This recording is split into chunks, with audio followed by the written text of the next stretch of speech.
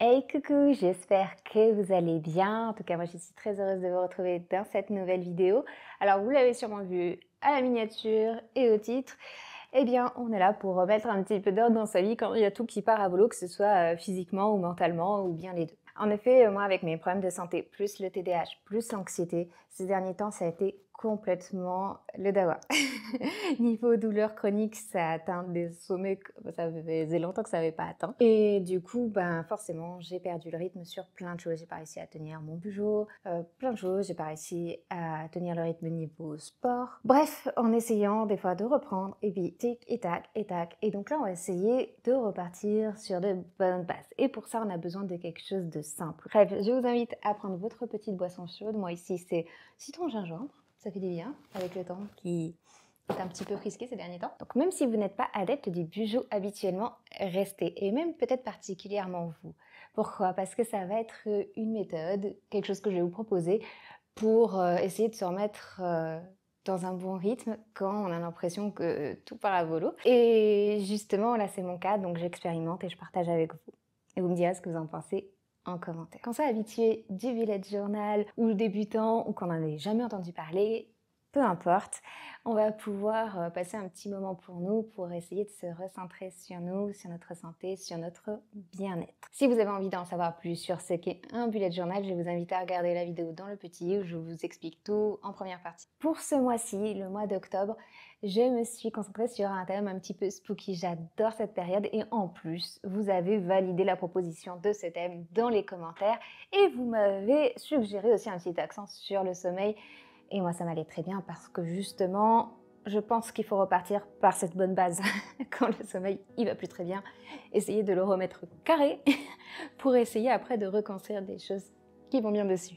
Donc, je vous invite à me rejoindre à votre bureau avec euh, vos crayons en stylo ou alors dans votre canapé sous un petit plaid chaud et avec votre boisson chaude.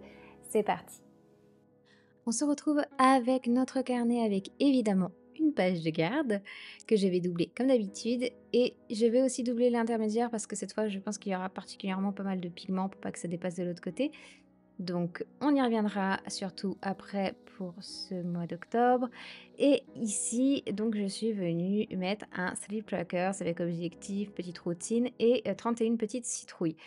Alors, j'ai décidé de ne faire qu'un tracker et de me concentrer sur une partie. D'habitude, je fais plusieurs petits trackers, etc.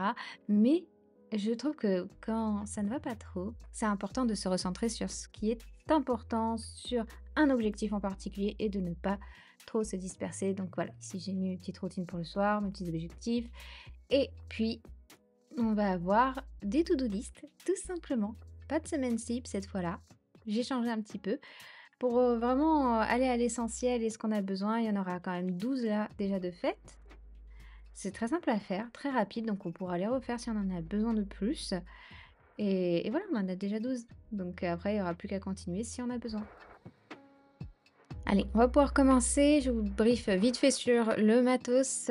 J'ai chapitré comme d'habitude la vidéo, donc on a crayon gomme, stylo, des stylos noirs de pointe fine différentes et puis aussi des stylos de calligraphie avec euh, des feutres euh, pareil différents, mais c'est vraiment pas obligatoire. Et puis des feutres de couleurs qui vont aller dans le thème que je veux, plutôt dans les orangés, couleurs chaudes pour euh, ce mois d'octobre. Et c'est parti. Donc je commence par le titre d'octobre avec un esprit un petit peu fantomatique qui vient se dessiner comme une fumée, comme une ombre fantôme. Alors, je commence par ancrer tout le tour et puis après, on viendra colorier doucement au crayon gris, vous verrez plus tard. Évidemment, vous pouvez faire toute cette couverture juste en noir et blanc pour gagner du temps. Voilà. Mais j'essaie quand même, dans tous les cas, même si on la colorise, de la faire assez simple et rapide à faire. Ce sera notre petit bijou d'urgence. Ici, des petites toiles d'araignée sur les côtés. On est dans le mood. Alors, désolé pour les arachnophobes, mais vraiment, elle est mignonne celle-là, non? Regardez, là, elle s'enroule autour de sa petite lune. Allez, je colorie le mois d'octobre avec du crayon gris. Prenez un crayon de couleur gris. J'ai eu la flemme, je vous avoue. J'ai pris le premier à côté.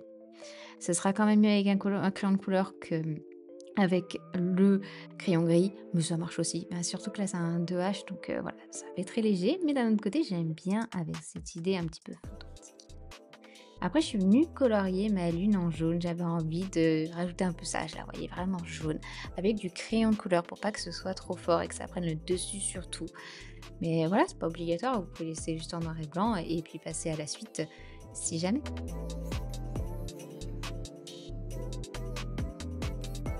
Et voilà, on arrive à la fin. Qu'en pensez-vous?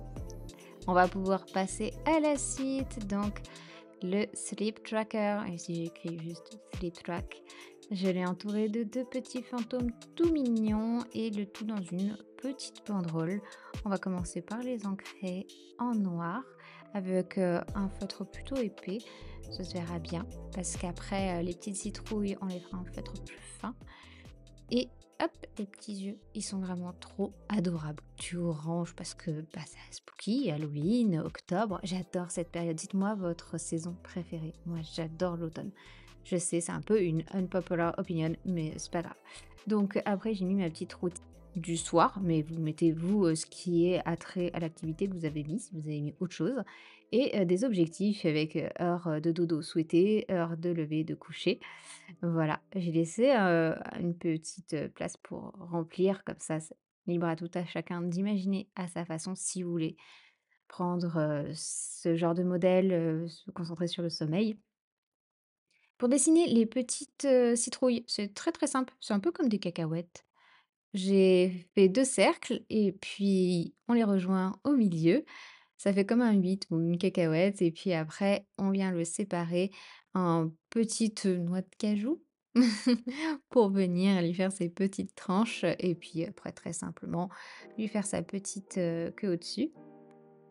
Vraiment, je me répète, mais moi j'ai pris le sommeil parce que pour moi c'est la base pour revenir sur un rythme sain et moi c'est la première chose qui part à la boulot quand je vais pas très bien, quand la santé elle va pas bien, que ce soit physique ou mentale, et souvent les deux ça va de pair, eh bien c'est le sommeil qui ne va plus. Euh, déjà de base, j'ai un sommeil très léger, avec le TDAH j'ai du mal à m'endormir, je me réveille plein de fois, et en plus j'ai des troubles du sommeil genre euh, terreur nocturne assez régulièrement, même si c'est beaucoup beaucoup moins que quand j'étais plus jeune.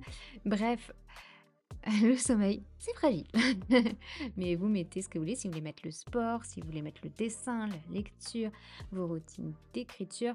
Mais là, l'idée, c'est de se concentrer sur une activité pour déjà la remettre au centre de tout. Et voilà, on va pouvoir passer à la suite avec notre to-do list. Effectivement, ce mois-ci, j'ai fait le choix de partir sur des petites to-do list qui sont très rapides à faire et comme ça, on les utilise quand on en a besoin, les jours où on en a besoin, peut-être pas tous les jours, et on fait notre checklist pour la journée, nos objectifs pour la journée. On peut le faire sur plusieurs jours d'avance. On peut les refaire ultra facilement.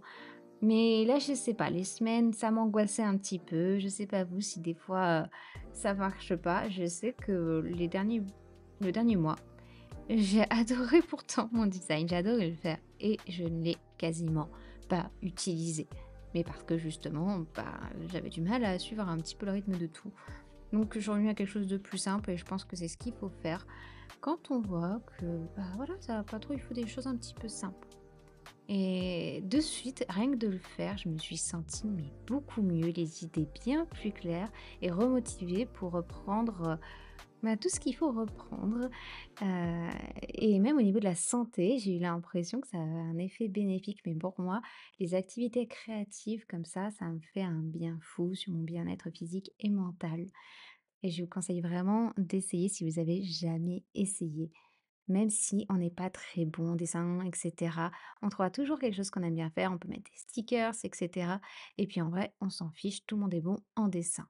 On n'écoute pas les profs de l'école. Ils disent plein de bêtises. Non, c'est vrai. Moi, j'ai été traumatisée par mes profs en art appliqué qui m'ont dit que c'était toujours le dessin qui n'allait pas chez moi. Voilà, désolée, ça ressort. en vrai, ayez confiance en vous, suivez vos rêves, et c'était la petite phrase bateau du jour, mais c'est important. Je suis venue décorer mes petits coins avec des petits items qui rappellent ce qu'on a déjà utilisé, donc euh, des petits fantômes, petites chauves-souris. Cette fois, j'ai pas mis d'araignée lune et une citrouille. C'est rapide à faire, c'est assez simple. Pour les chauves-souris, c'est comme des petits U qui s'enchaînent. Et puis un peu de jaune par-ci par-là, un peu d'orange. Ça vient rappeler nos thèmes, ça vient mettre en valeur et mettre un petit peu de volume. Et c'est tout bon. Et voilà, on a terminé. Ça a été assez rapide, je trouve, assez simple. On a notre to-do, là c'est clair.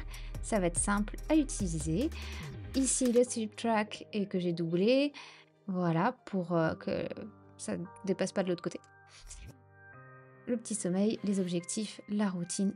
Vous mettez l'objectif de votre choix, nos petits fantômes dans leur banderole, enfin qui entourent la banderole. Et puis, puis voilà. et de l'autre côté, enfin, la première page, la page de garde que je trouve absolument adorable. Et voilà, qu'en avez-vous pensé pour ce mois d'octobre? J'ai trouvé ça assez simple. J'espère que ça vous conviendra aussi. N'hésitez pas à me faire des suggestions pour le mois prochain sur ce que vous voulez voir dedans, ou même pour d'autres types de vidéos. J'ai essayé de reprendre un rythme de 5, avec tout ça. C'est toujours euh, compliqué de bien s'organiser quand euh, on a plein de passions à la fois, plein de choses à gérer et qu'on a envie de tout faire. Et je vous avoue que je me pose plein de questions quant au rythme que je dois avoir, que ce soit pour les vidéos et le podcast aussi. J'ai plein de gens à inviter, super sympa, super cool et inspirant. Et puis moi, j'ai des sujets à aborder, c'est la salle avec vous, euh, en ce qui concerne le TDAH, les douleurs chroniques. Bref, il y a de la matière, il n'y a plus qu'à. Mais il n'y a plus qu'à, il y a aussi l'écriture qui me tient beaucoup à cœur et j'ai vraiment envie d'avancer là-dessus. Il y a le travail d'architecte et le rôle que j'ai envie de trouver là-dedans. Et aussi, j'ai envie de développer tout ce qui est l'aspect euh, récit architectural, rédaction. Bref, euh, dites-moi si vous aussi vous êtes euh, multipassionné, si avec votre TDAH, si vous en avez un, vous êtes pareil, ou d'autres neuroatypies, ou même juste vous êtes multipassionné, c'est comme ça. il n'y a pas forcément d'autres liens avec autre chose. Et puis pour revenir au journal, dites-moi la page que vous avez préférée. Moi, je ne sais pas si c'est celle-là ou la première page. En tout cas, ça m'intéresse dans les commentaires. Et faites-moi des suggestions, avec plaisir. En tout cas, on se revoit très vite dans d'autres vidéos podcast. Mais en attendant, vous pouvez venir faire un petit tour sur les réseaux sociaux pour que l'on puisse faire connaissance au quotidien. At Marine Plumatypique. non, at Plumatypique, qu'est-ce que je raconte? En tout cas, si vous avez aimé cette vidéo, n'hésitez pas à laisser un petit pouce en l'air ainsi qu'un commentaire et à partager la vidéo autour de vous. C'est hyper important pour me montrer que bah, vous avez apprécié tout simplement cette vidéo, pour me soutenir et soutenir la chaîne. Dans tous les cas, à très bientôt. Des bisous et prenez soin de vous.